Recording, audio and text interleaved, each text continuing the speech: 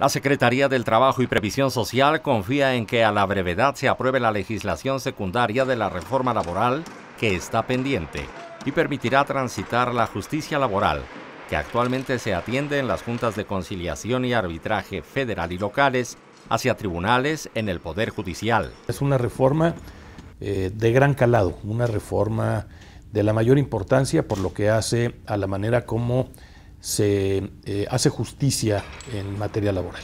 El modelo que está vigente eh, hasta ahora, que, está terminando, es un modelo que se basa en una figura conocida como tripartismo.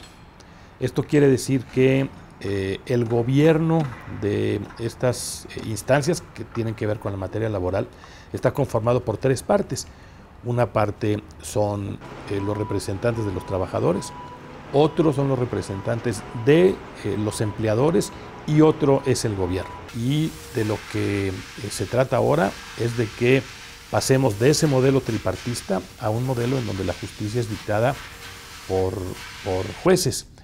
Eh, lo que se pretende es mucho mayor certeza jurídica en la solución de las controversias. y, ese es el cambio. En entrevista con Notimex, el funcionario federal señaló que la reforma Prevé también la conformación de un nuevo órgano denominado Instituto a nivel federal y centros locales que se encargarán de la conciliación y en el caso del Instituto Federal registrará las asociaciones existentes en el país. A partir de la entrada en vigor de esta reforma, el registro es solamente uno, es un, es un registro único y es un registro que tendremos en el instituto eh, que es la instancia federal. Eh, la reforma de la Constitución prevé también la manera como se designa el titular del instituto es eh, una, un nombramiento que le corresponde al Ejecutivo, pero tiene que ir al Senado de la República, quien eh, elige por mayoría de dos terceras partes de una terna que presenta el Ejecutivo.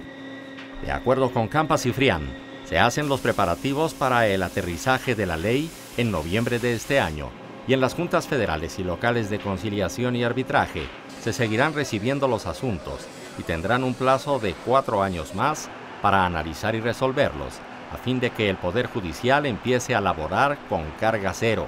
Significa tener plazos precisos. Hoy los juicios llevan mucho tiempo, en algunos casos eh, los juicios duran cuatro años, ese es el promedio que tenemos en los casos en la Junta. Se trata de que los casos se resuelvan en el transcurso de unos cuantos días. En materia de empleo, el funcionario federal adelantó que se tienen buenos resultados y se avanza en la meta de generación de 4 millones de nuevos puestos de trabajo en la presente administración, que significan más de los generados en los dos sexenios anteriores.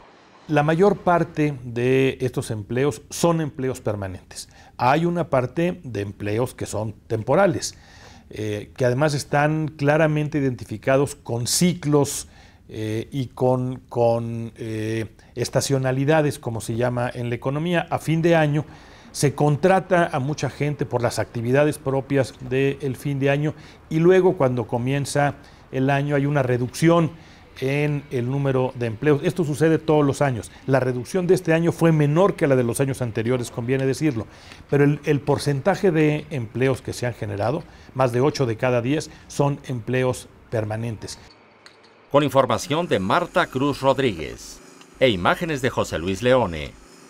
Notimex.